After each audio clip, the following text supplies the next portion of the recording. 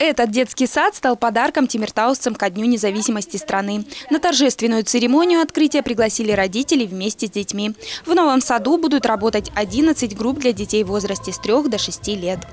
Давай, садись. Ну-ка, ну-ка. Сюда. О, Ну-ка, давай, Василий, давай. Да, добрый путь, поехали, давай.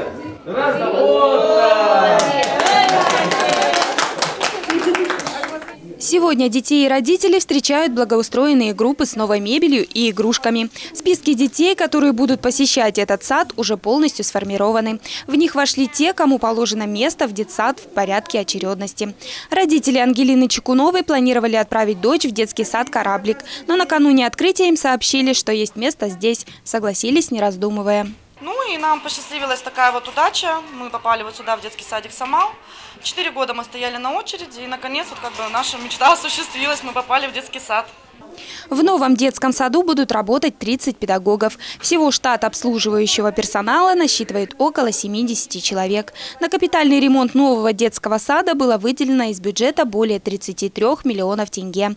Доделать некоторые помещения в срок здесь так и не успели. Планируют закончить работы уже в ближайшее время. Не хватило средств и на обновление фасада здания. В общем, сад открыли, но работать в полную силу пока он не будет.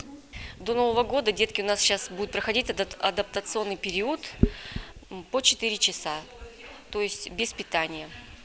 Пока у нас госзакупки, с 1 января уже на полный рабочий день, как положено, с питанием с утра до вечера. Но руководство города полно оптимизмом. Говорят, что главное – 275 детей охватят дошкольным воспитанием. Сотрудникам предоставлены рабочие места. Сейчас в детском саду готовятся к встрече Нового года, который тоже отметят символично. Ну, таких утренников, конечно, мы не планируем, потому что, потому что детки все у нас придут неорганизованные, но стихи они выучат. Мы готовим для них развлечения, развлечение для них будет обязательно. Как бы там ни было, в Тимиртау появился еще один детский сад. И, похоже, детям он уже понравился.